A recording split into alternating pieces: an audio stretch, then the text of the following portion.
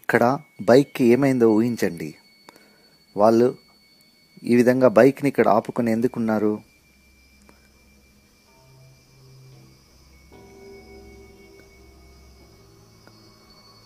ఈ బైక్ నడవాలంటే ఏం కావాలి వాళ్ళకి? చూడండి ఇక్కడ ఈ బైక్ నడుస్తుంది. ఈ బైక్ నడవాలంటే దాంట్లో ఏం కావాలి?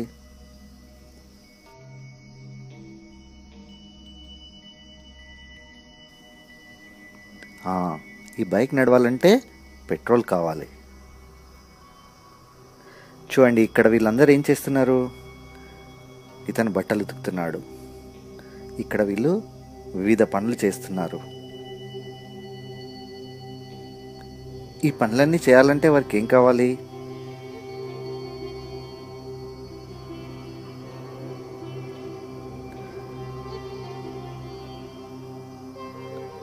చూడండి వీరు గుట్టలెక్కుతున్నారు. దీన్నే ట్రెక్కింగ్ అంటారు. ఇక్కడ ఈ అమ్మాయి యంత్ర సహాయంతో ఏదో పనిచేస్తుంది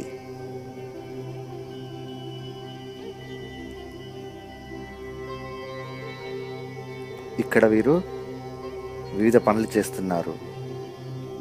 ఈ పనులన్నీ చేయాలంటే వీరికి ఏం కావాలి?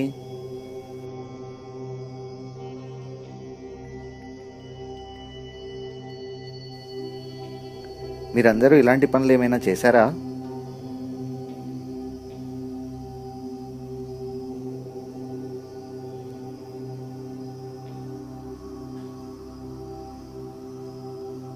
బయట పనులే కాదు ఇంట్లో ఇలాంటి పనులు చేయాలంటే కూడా మనకు ఏం కావాలి?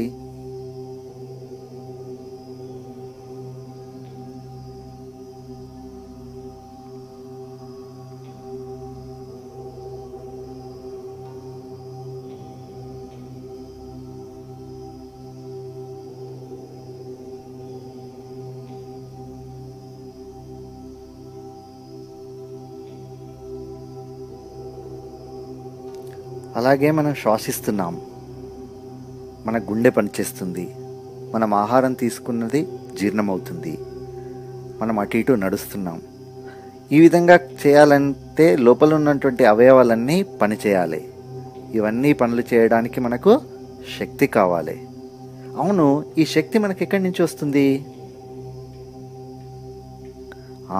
మనం తీసుకున్న ఆహారం నుండి శక్తి వస్తుంది. కానీ ఆహారం శక్తిగా ఎలా మారుతుంది? అసలు ఆహారంలో ఏ అంశాలు ఉంటాయి అవి మనకు ఎలా ఉపయోగపడతాయి? మనం కింది తరగతిలో నేర్చుకున్నాం కదా? అన్ని ఆహార పదార్థాల్లో అన్ని అంశాలు ఒకే మాదిరిగా ఉంటాయా? ఇక్కడ చూపిస్తున్నటువంటి ఆహారాన్ని గమనించండి.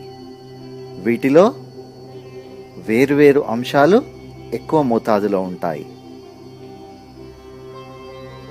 మన ఆహారంలో పిండి పదార్థాలు అనగా కార్బోహైడ్రేట్లు మాంసకృతులు అనగా ప్రోటీన్లు క్రొవ్వులు అనగా ఫ్యాట్స్ అనేవి ఉంటాయని మీకు తెలుసు. సరే మనకు ఆకలి ఎందుకు అవుతుంది? మనం రోజుకి ఎన్నిసార్లు ఆహారం తీసుకుంటాం? మనం తీసుకున్న ఆహారం ఏమవుతుంది? అసలు ఆహారం జీర్ణమవడం అంటే ఏమిటి? మనం తీసుకున్న ఆహారం ఎలా జీర్ణమవుతుంది? మన ఆహారంలో సంక్లిష్టమైన పెద్ద అణువులు ఉంటాయి ఈ పెద్ద అణువులు కణత్వచాన్ని దాటి లోపలికి వెళ్ళలేవు. కాబట్టి ఆ పెద్ద అణువులు చిన్న అణువులుగా మార్చాలి. అనగా సంక్లిష్ట పదార్థాలను సరళ పదార్థాలుగా మార్చే క్రియనే జీర్ణక్రియ అంటారు. ఈ జీర్ణక్రియలో ఏం జరుగుతుంది? మనం తీసుకున్నటువంటి ఆహారంలోని పిండి పదార్థాలు సాధారణ చక్కెరలు అంటే గ్లూకోజ్ మాల్టోజ్ లాంటి సాధారణ చక్కెరలుగా మారుతుంది. మాంసకృతులు అమైనో ఆసిడ్లుగా మారుతుంది.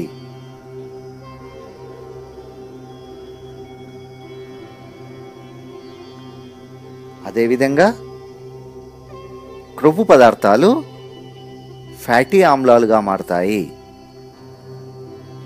ఇవన్నీ సరళ పదార్థాలు. మరి సంక్లిష్ట పదార్థాలు సరళ పదార్థాలుగా ఏ విధంగా మారుతాయి?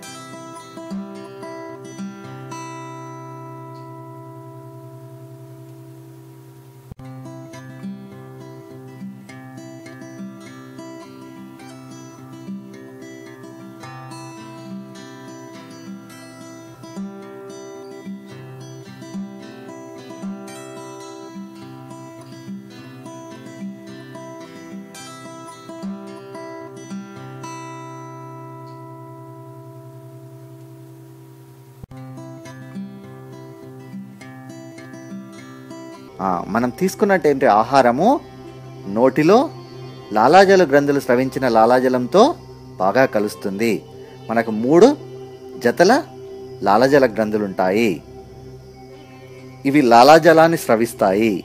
ఈ లాలాజలంలోని టయలిన్ అనే ఎంజైము పిండి పదార్థాలను మాల్టో చక్కెరలుగా మారుస్తుంది. ఈ విధంగా మెత్తగా నూరబడినటువంటి ఆహారము నెమ్మదిగా ఆహార వాహికలోకి ప్రవేశిస్తుంది. ఈ ఆహార వాహికలోకి ప్రవేశించినటువంటి ఆహారపు ముద్ద పెరిస్టాల్టిక్ చలనాల ద్వారా ప్రయాణిస్తూ జీర్ణాశయాన్ని చేరుతుంది. ఈ జీర్ణాశయంలో జీర్ణరసాలు ఎస్సిఎల్ ఆమ్లము కలుస్తాయి.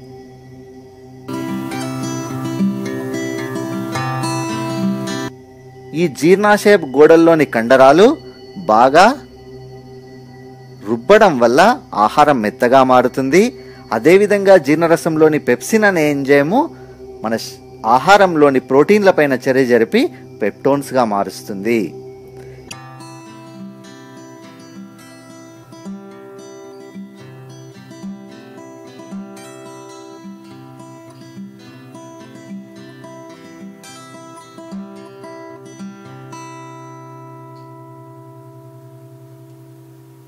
ఆహారంలోని అంశాలు చిన్న చిన్న ముక్కలుగా విడబడి ఖయంగా మారుతుంది.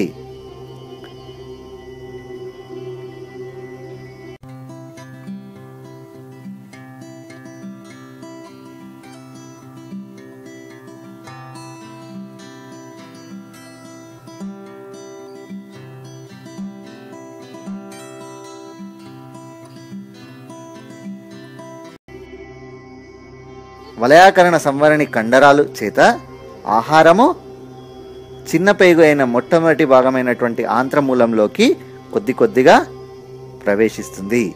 ఈ ఆంత్రమూల ప్రాంతంలోనే కాలేయం నుండి పైత్యరసము క్లోమము నుండి క్లోమరసము కలుస్తాయి. పైత్యరసంలో బయలురెబిన్ బయలువెర్డిన్ వర్ణకాలు కొవ్వుల జీర్ణక్రియలో తోడ్పడతాయి. అదేవిధంగా క్లోమరసంలోని ట్రిప్సిన్ అనే ఎంజైమ్ ప్రోటీన్ల యొక్క లైపేజ్ ఎంజైమ్ క్రొవ్వుల యొక్క జీర్ణక్రియలో తోడ్పడును.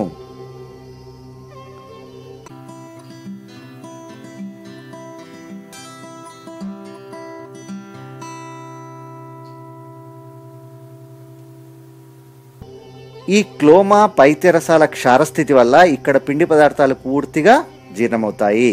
ఆ తర్వాత చిన్నప్రేగు స్రవించే అంతరసంలోని ఎంజైమ్లు మిగతా జీర్ణక్రియను పూర్తి చేస్తాయి.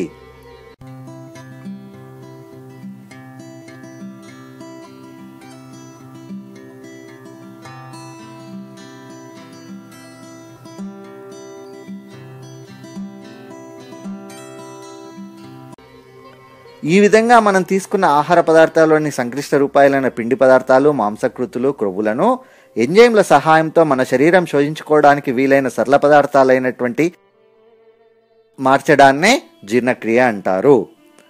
మరి ఈ విధంగా సరళ పదార్థంగా మారిన మారిన తర్వాత శరీరం ఎలా శోషించుకుంటుంది?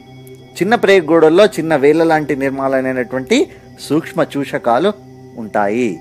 ఇవి చిన్న ప్రేగు ఉపరితల వైశాల్యాన్ని పెంచి శోషణ సామర్థ్యాన్ని పెంచును.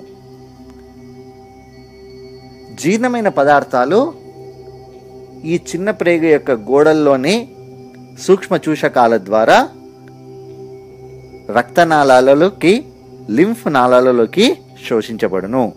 మాంసకృతులు పిండి పదార్థాలు రక్తనాళాలలోకి క్రొవ్వులు అనగా ఫ్యాటీ ఆమ్లాలు లింఫ్ నాళాలలోకి శోషించబడి శరీరంలోని వివిధ భాగాలకు సరఫరా చేయబడతాయి.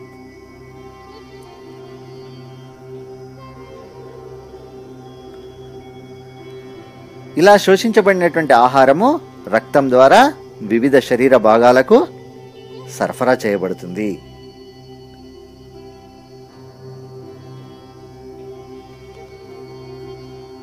జీర్ణం కాని పదార్థం పెద్ద ప్రయోగిలోకి పంపబడి దానిలో నుంచి శరీరానికి అవసరమైన నీటిని తిరిగి శోషించుకొని చివరి భాగం ద్వారా వ్యర్థ పదార్థాలు బయటికి నెట్టబడును.